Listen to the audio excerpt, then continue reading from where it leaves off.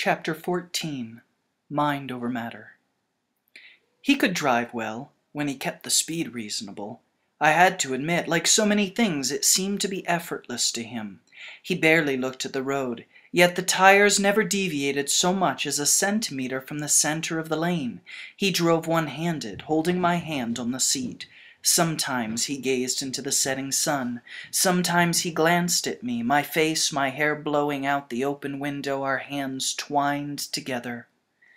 He had turned the radio to an oldies station and he sang along with a song I'd never heard.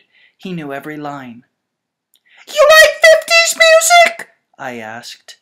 Mm, music in the 50s was good, much better than the 60s or 70s. Ugh. He shuddered. The 80s were bearable.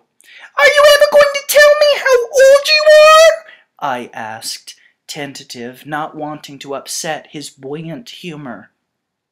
Hmm, does it matter much?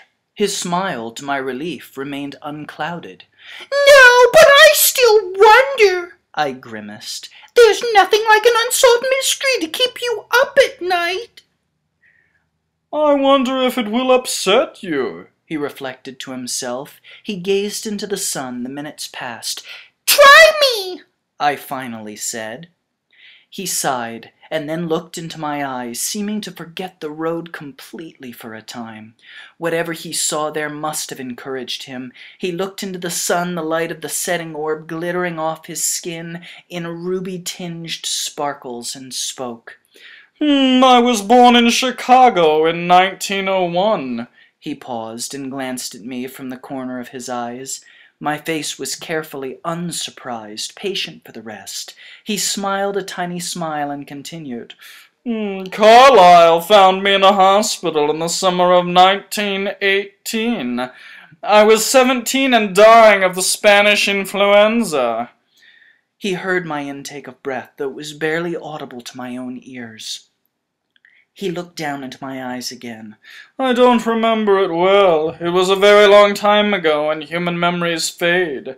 He was lost in thoughts for a short time before he went on. I do remember how it felt when Carlisle saved me. It's not an easy thing, not something you could forget. Your parents?